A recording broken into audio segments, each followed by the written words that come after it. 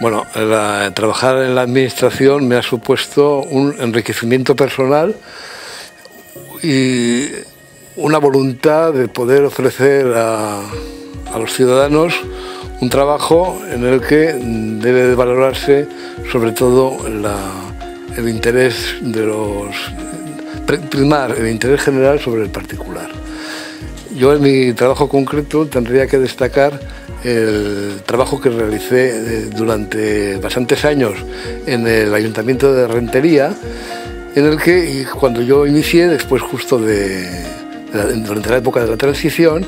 la ciudad de Rentería estaba totalmente afectada por una degradación urbana muy importante. Entonces ese fue para mí el trabajo más, más importante de los, de los que yo he realizado, es decir, el considerar la recuperación urbana de, Rentería como un proyecto personal y además volcado siempre hacia el exterior, hacia el ciudadano. Bueno, al conjunto de la profesión yo le diría que en el, supuesto de que trabaje para la administración, no, no en un proyecto concreto que deberá manifestar lógicamente su mejor voluntad de proyectación, sino si trabaja eh, de forma exclusiva y permanente para la administración,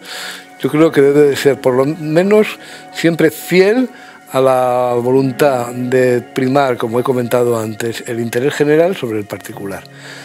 Ese yo creo que es siempre eh, el reto al que hay que, hay que intentar abordar. Es difícil porque las presiones que se padecen suelen ser a veces importantes, pero con un espíritu recto y de, y de empuje se puede conseguir yo creo que muchas cosas. Y que no piensen que por trabajar en la administración su trabajo va a ser menos importante que el que, se dedica a la proyectación exclusivamente, sino que los resultados luego se ven y, y son satisfactorios si se han hecho correctamente, claro.